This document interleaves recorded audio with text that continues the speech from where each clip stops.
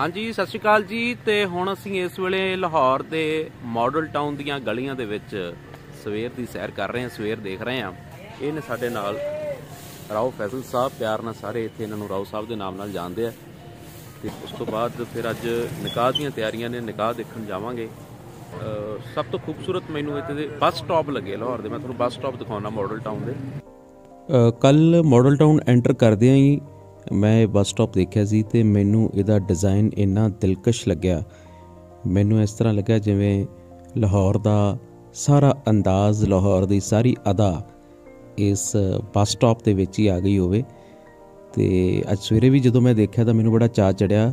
ਆਮ sorry ਮੈਂ ਇਹਨੂੰ proper shoot ਨਹੀਂ ਕਰ ਪਾ ਰਿਹਾ ਕਿਉਂਕਿ ਮੈਂ ਕੋਈ ਤਜਰਬੇਕਾਰ ਕੈਮਰਾਮੈਨ ਨਹੀਂ ਆ ਤੇ ਦੂਸਰਾ ਮੇਰੀ ਜਿਹੜੀ ਆ ਇਕਵਿਪਮੈਂਟ ਹੈ ਗਿੰਬਲ ਇਹ ਮੇਰੇ ਕੰਟਰੋਲ 'ਚ ਪ੍ਰੋਪਰ ਆ ਨਹੀਂ ਰਹੀ ਮੈਨੂੰ ਆਪਰੇਟ ਨਹੀਂ ਕਰ ਪਾ ਰਿਹਾ ਬਿਲਕੁਲ।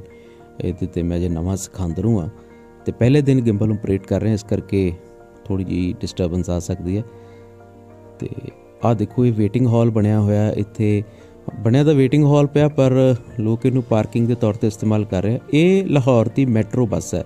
ਬਿਲਕੁਲ ਚੰਡੀਗੜ੍ਹ ਦੀਆਂ ਬੱਸਾਂ ਵਰਗੀ ਇਹ ਬੱਸ, ਜਿਹੜੀਆਂ ਬੱਸਾਂ ਅਸੀਂ ਕੱਲ ਦੇਖੀਆਂ ਸੀਗੀਆਂ ਕਲਰਫੁਲ ਬੱਸਾਂ ਜਿਹੜੀਆਂ ਲਾਹੌਰ ਦੀ ਪਹਿਚਾਨ ਨੇ, ਉਹ ਲਾਹੌਰ ਸ਼ਹਿਰ ਦੇ ਵਿੱਚ ਨਹੀਂ ਚੱਲਦੀਆਂ, ਉਹ ਆਸੇ-ਪਾਸੇ ਦੇ ਪਿੰਡੂ ਇਲਾਕਿਆਂ ਦੇ ਵਿੱਚ ਚੱਲਦੀਆਂ ਨੇ, ਜਿਵੇਂ ਆਪਣੇ ਇਧਰ ਮਿੰਨੀ ਮਿੰਨੀ ਬੱਸਾਂ ਚੱਲਦੀਆਂ ਨੇ, ਬਿਲਕੁਲ ਮਿੰਨੀ ਬੱਸਾਂ ਵਾਂਗੂ ਚੱਲਦੀਆਂ ਨੇ, ਲਾਹੌਰ ਸ਼ਹਿਰ ਦੇ ਅੰਦਰ ਤੁਸੀਂ ਉਹ ਬੱਸ ਨਹੀਂ ਦੇਖੋਗੇ। ਸਾਡੇ ਮੇਜ਼ਬਾਨ ਰਾਓ ਸਾਹਿਬ ਸਾਨੂੰ ਲੈ ਕੇ ਜਾ ਰਹੇ ਨੇ ਬੈਂਕ ਸਕੁਅਰ ਦੇ ਵਿੱਚ ਇਹ ਸਾਹਮਣੇ ਜਿਹੜਾ ਬੈਂਕ ਸਕੁਅਰ ਹੈ ਇਹ ਇਹਨੂੰ ਆਪਾਂ ਇੱਕ ਤਰ੍ਹਾਂ ਦਾ ਬੈਂਕ ਬਾਜ਼ਾਰ ਕਹਿ ਸਕਦੇ ਹਾਂ ਇਸ चलाती है bank square market bank square market ये सामने उस साइड सी ब्लॉक है जितों से आए हैं अच्छा उसे कहते हैं C block bank square market C block हाँ बैंक स्क्वायर मार्केट तुम देखोगे तो बैंक की बैंक फिर इसके बाद वो एक्सटेंड हुई फिर हो रहे एक्सटेंड बैंक चांबा अस्करी ये सारे बैंक ਅੱਛਾ ਇਹ ਤਕਰੀਬਨ ਜਿੰਨੀਆਂ ਪਾਕਿਸਤਾਨ 'ਚ ਬੈਂਕਾਂ ਆਪਰੇਸ਼ਨਲ ਨੇ ਸਾਰੀਆਂ ਦੇ ਬ੍ਰਾਂਚਸ ਨੇ ਜਾਂ ਕੁਝ ਮੋਸਟਲੀ ਯੈਸ ਮੋਸਟਲੀ ਮੋਸਟਲੀ ਤੋ ਰਾਓ ਸਾਹਿਬ ਨੂੰ ਬੈਂਕ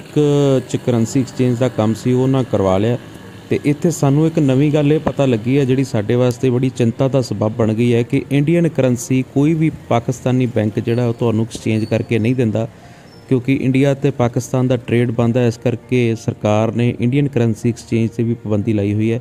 ਭਾਵ ਹੁਣ ਜਿਹੜੇ ਅਸੀਂ ਇੰਡੀਅਨ ਕਰੰਸੀ ਲਏ ਆ ਸਾਨੂੰ ਉਹਦੀ ਪਾਕਿਸਤਾਨ ਕਰੰਸੀ ਨਹੀਂ ਮਿਲੂਗੀ। ਅਗਰ ਤੁਸੀਂ ਪਾਕਿਸਤਾਨ ਆਉਣਾ ਚਾਹੁੰਦੇ ਹੋ ਤਾਂ ਤੁਹਾਨੂੰ ਯੂ ਐਸ ਡਾਲਰ ਲੈ ਕੇ ਆਉਣੇ ਪੈਣਗੇ। ਤੋਂ ਹੁਣ ਅਸੀਂ ਵਾਪਸ ਜਾ ਰਹੇ ਹਾਂ ਜੀ ਰਾਉ ਸਾਹਿਬ ਦੇ ਘਰ। ਤੇ ਆਹ ਦੇਖੋ ਮਾਡਲ ਟਾਊਨ ਇਹ ਜਿਹੜਾ ਮਾਡਲ ਟਾਊਨ ਹੈ ਇਹ ਬੇਸਿਕਲੀ ਲਾਹੌਰ ਦਾ ਸਭ ਤੋਂ ਮਹਿੰਗਾ ਇਲਾਕਾ ਹੈ ਰਹਿਣ ਵਾਲਾ। ਹਾਂਜੀ। ਥਿੰਕ ਕਲੀਨ ਥਿੰਕ ਇਹ ਰੋਜ਼ਾਨਾ daily basis every block Model Town Lahore ਦਾ ਬੜਾ ਐਲੀਟ ਪੌਸ਼ ਕਿਸਮ ਦਾ ਏਰੀਆ ਹੈ। ਇੱਥੇ ਰਹਿਣ ਵਾਲੇ ਸਾਰੇ ਹੀ ਪੁਰਾਣੇ ਰਈਸ, ਜਗੀਰਦਾਰ ਜਾਂ ਆਫੀਸਰ ਕਿਸਮ ਦੇ ਲੋਕ ਨੇ।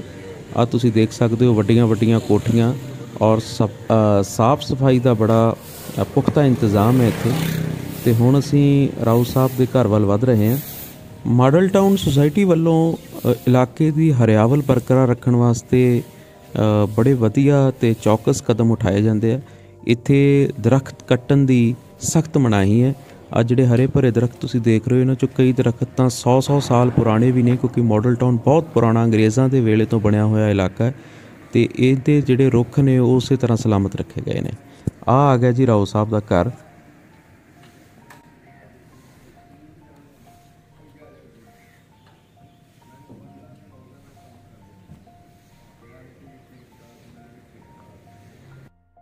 ਹੁਣ ਅਸੀਂ ਜਾ ਰਹੇ ਹਾਂ ਜੀ ਮੁਸਲਿਮ ਟਾਊਨ ਵੱਲ।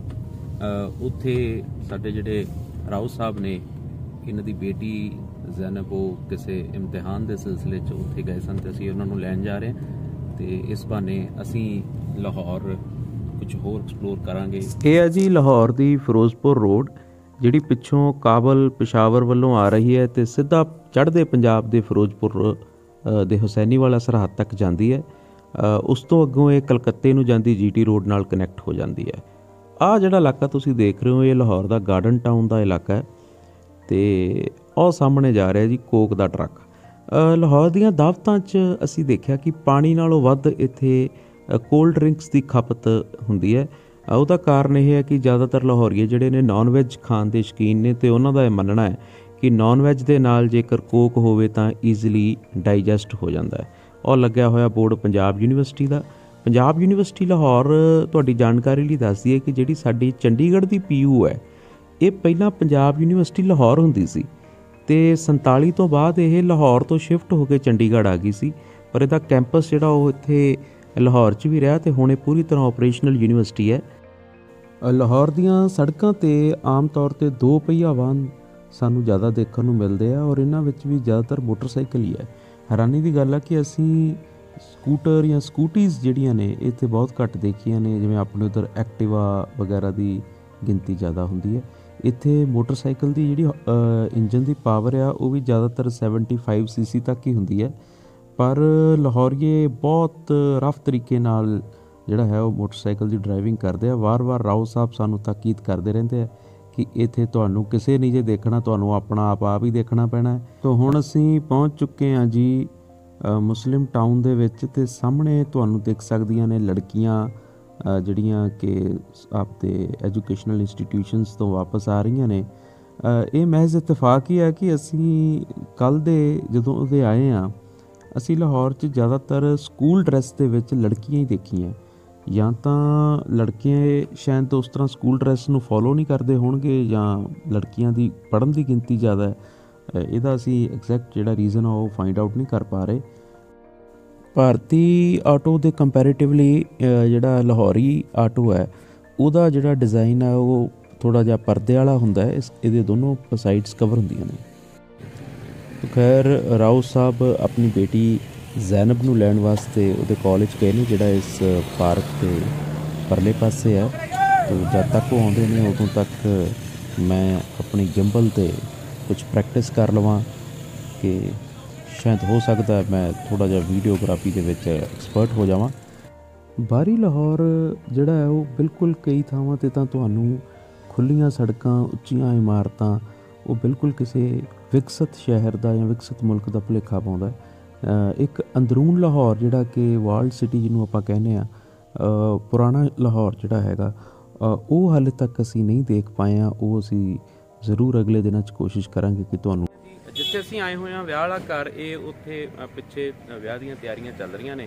ਤੇ ਉਹ ਘਰ ਦੇ ਬਿਲਕੁਲ ਸਾਹਮਣੇ ਪਾਰਕ ਹੈ ਤੇ ਪਾਰਕ ਦੇ ਵਿੱਚ ਤੁਸੀਂ ਦੇਖ ਸਕਦੇ ਹੋ, ਉੱਥੇ ਕ੍ਰਿਕਟ ਦਾ ਮੈਚ ਚੱਲ ਰਿਹਾ ਥੋੜਾ ਜਿਹਾ।